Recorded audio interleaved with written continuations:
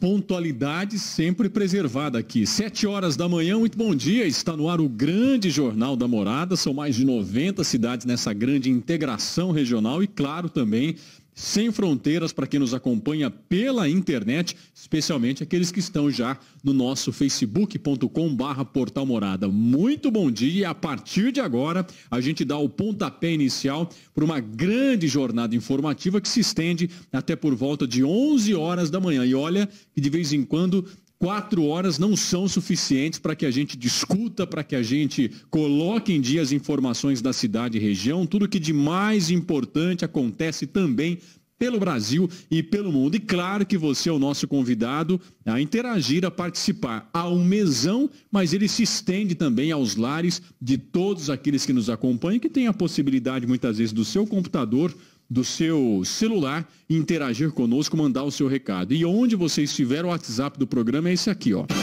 Participe do Jornal da Morada via WhatsApp 997513001. Envie seu comentário, denúncia ou reclamação 997513001. Mensagem de texto, áudio, foto ou vídeo 997513001. Seu canal direto com o Jornal da Morada. É de fato um canal direto. Você manda sua mensagem, texto, vídeo ou voz. Interage aqui conosco e apresenta os problemas da sua rua, do seu bairro, porque ó, toda a nossa pauta daqui a pouco você vai conhecer. Aliás, vai conhecer já. Vamos antecipar aqui as manchetes que circularão, circularão hoje aqui no programa.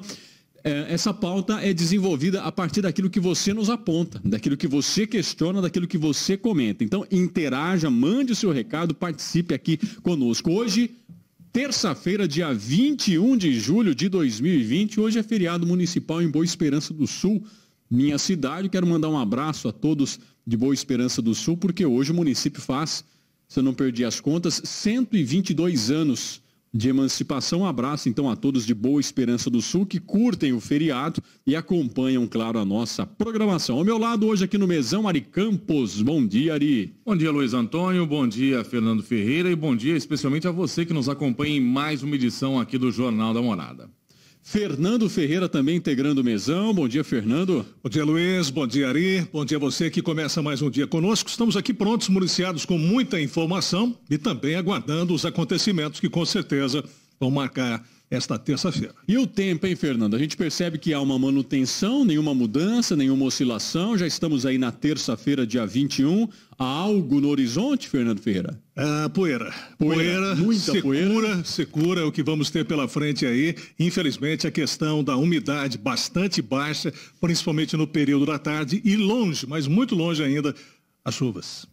Então tá aí, daqui a pouco a gente vai detalhar, porque de fato, né, a gente vai é, sentindo já os impactos disso, né? As queimadas, sejam aquelas maiores ou as pequenas queimadas urbanas que de fato trazem impacto na nossa saúde. Outra coisa que impacta a nossa saúde, mas especialmente daqueles que estão ao derredor da linha férrea, é o buzinaço do trem.